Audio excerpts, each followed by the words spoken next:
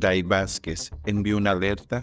en sus redes sociales tras el escándalo del representante David Racero. No es el único. Las primeras acusaciones contra el congresista aparecieron a revelarse diversos chats sobre irregularidades en la gestión de los fondos de su UTL, lo que llevó a que la atención se concentre en este caso.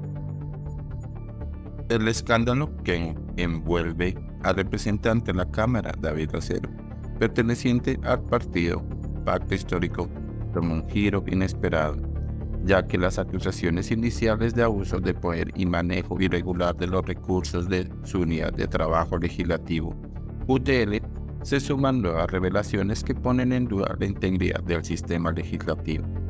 Sin embargo, la situación se complicó aún más cuando Day Vázquez es esposa de Nicolás Petro y figura clave en el caso de lavado de activos que involucra al hijo del presidente de la República, sugirió que el congresista no era el único político involucrado en este tipo de irregularidades.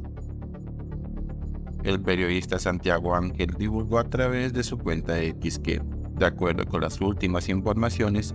un empleado del equipo rasero había transferido dinero a las cuentas de su padre y hermano este hecho se une a la publicación de un audio donde se evidencia que uno de los empleados del congresista asumió tareas que no correspondían a su cargo, lo que agrava las sospechas sobre la gestión del congresista. Pero lo que verdaderamente llamó la atención fue la respuesta de la barranquillera Day Vázquez al mensaje del periodista Santiago Ángel sobre el congresista. Ella, que estuvo al tanto de diversas situaciones políticas debido a su relación con el hijo mayor del presidente Gustavo Petro, emitió una alerta sobre la situación.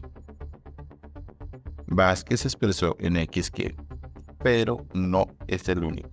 lo cual generó inquietud entre muchos ya que aún no está verificada la autenticidad de las acusaciones contra Racero legalmente. Sin embargo, de alguna manera, ella parece confirmarlas al enfatizar que estas denuncias no se limitan solo a este congresista del pacto histórico, sino que involucran a otros políticos que podrían estar abusando de sus equipos de UTL.